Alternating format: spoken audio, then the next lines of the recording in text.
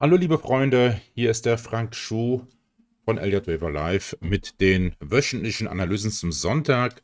In diesem Video erfahrt ihr alles Wissenswerte über den Hang Seng Index, über den Eurostox 50 sowie über den US-Dollar in Parität zum japanischen Yen.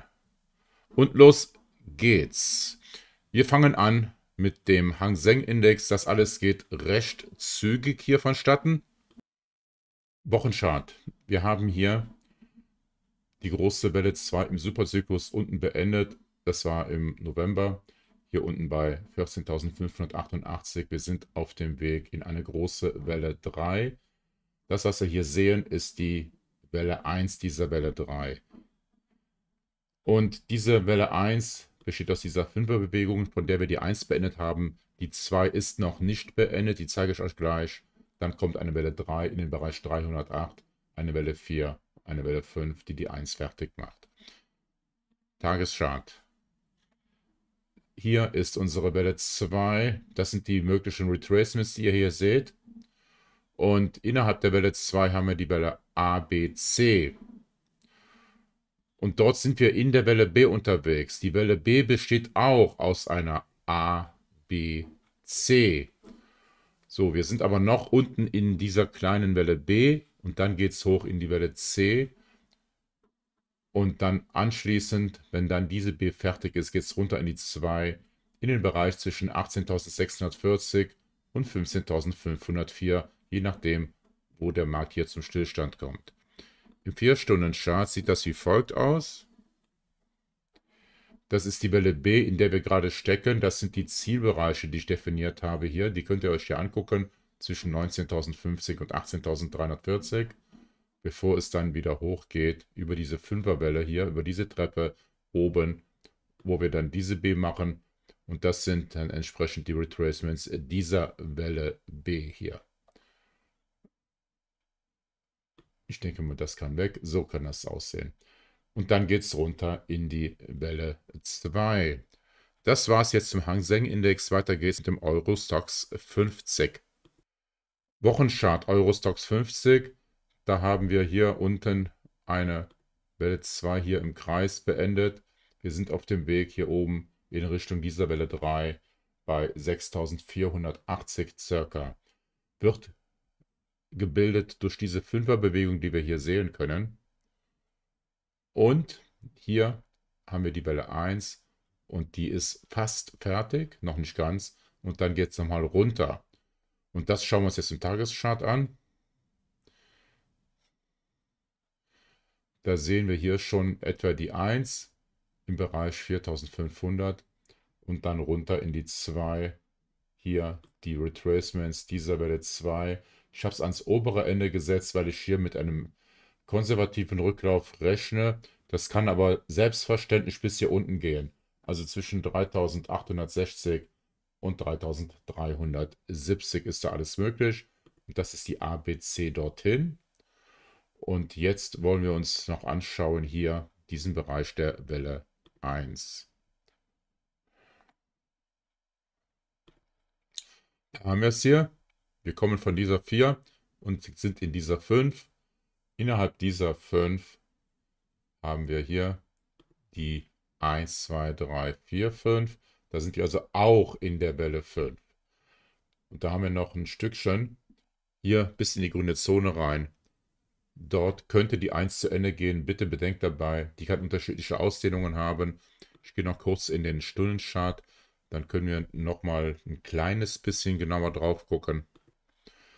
Hier hatte ich ja letzte Woche einen Trade angezeichnet mit einem Stopp hier unten auf dem Tief. Ein Einstieg hier. Da standen wir. Ja, und nun, äh, ja, das Ziel war hier oben. Das können wir jetzt aber nochmal erweitern, dieses Ziel ein bisschen. Bis hier circa. Ähm, aber nichtsdestotrotz, ähm, wir können den Trade auch wegmachen, weil der ist schon mitten dabei äh, aufzugehen. Es bringt ja nichts, den stehen zu lassen. Außer wenn wir später sehen wollen, ob der noch weiter funktioniert hat. Aber das hat er ja sowieso. Also mache ich ihn einfach weg. Denn Einsteigen bringt er jetzt eigentlich auch nichts mehr. So, also so viel zum Eurostox 50, das ist die aktuelle Bewegung, die wir gerade machen. Die 3 bald zu Ende, dann kommt die 4 und dann die 5. Jetzt noch US-Dollar, japanischer Yen. Hier in diesem Chart, da habe ich Veränderungen vorgenommen. Ich müsste jetzt genau überlegen, welche das waren. Auf jeden Fall. Ähm, ich komme jetzt nicht mehr ganz drauf, man müsste es vergleichen. Auf jeden Fall, hier habe ich in meiner Zählweise Änderungen vorgenommen, ähm, weil der höher gelaufen war. Das sehen wir uns gleich an. Wir gucken uns das jetzt erstmal im Wochenchart an. Übergeordnet hat sich gar nichts verändert. Das hier ist alles gleich geblieben. Soweit, so gut.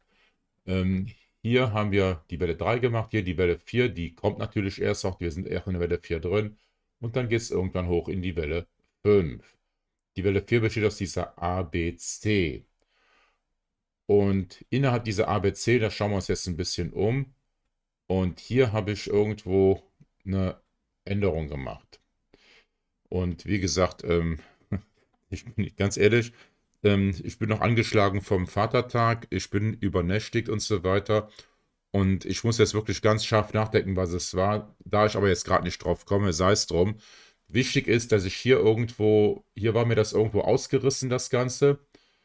Ähm, kann auch sein, dass ich die B hier schon fertig eingezeichnet hatte. Hier irgendwo, dass sie hier war, wo die 1 ist. Das kann auch gut sein. Ähm, ja, wer es genau wissen will, der guckt einfach nochmal in das Video von letzter Woche rein. Dann könnt ihr die Unterschiede genau sehen. Ich glaube, ich kriege das heute nicht mehr hin, das aufzulösen. Tut mir furchtbar leid. Passiert manchmal, wenn man so ein bisschen äh, strange äh, gefeiert hat, dann passieren solche Sachen. Also, wir sind jetzt jedenfalls dabei, diese Welle B fertig zu machen hier. Und dann geht es anschließend hier, wenn wir die circa 140 erreichen, die kann unterschiedliche Werte haben, diese B. Da mache ich euch mal eben kurz eine, was dran. Der ist fertig. So, hier in diese Bereiche kann der laufen. Und ähm, wenn die B dann fertig ist, dann geht es innerhalb dieser Fünferbewegung runter. Wir machen dann die Welle 4 fertig hier unten in diesem Bereich.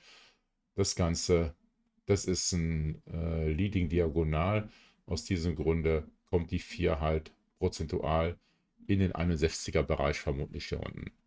Ich gehe nochmal kurz in den 4-Stunden-Chart erstmal. Dann sehen wir nochmal den Weg zu der Welle B. Hier sehen wir es.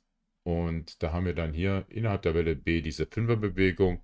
Hier die Welle 1, die Welle 2. Wir sind in der Welle 3. Dann folgt die Welle 4, die kann ein bisschen weitergehen noch so. Und dann die Welle 5. So viel zum US-Dollar japanische Yen. Damit ist auch dieses Video jetzt erledigt. Hang Seng, Eurostox 50 und US-Dollar japanischer Yen. Danke fürs Zuschauen. Der Frank Schuh von Elliot Weaver Live.